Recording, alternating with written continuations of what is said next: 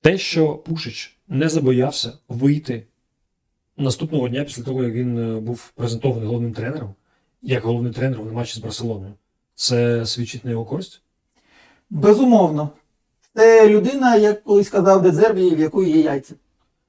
Ну, просто ви пам'ятаєте Валерій Кривенцов? Е, Ні, я не сумніваюся, що в нього є яйця, я думаю, на будь-якому рівні. Але е, Валерій Кривенцов, наприклад, він вже тренував команду перед матчем зі Славією, е, яку команда виграла потім.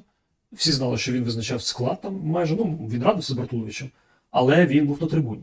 Е, Не тільки через те, що він не був офіційно призначений ще на той, момент. Тобто, зазвичай тренери так не роблять. Вони не беруть на себе відповідальність в той момент, коли вони вже ну, вони не знають ще і гравців по імені всіх.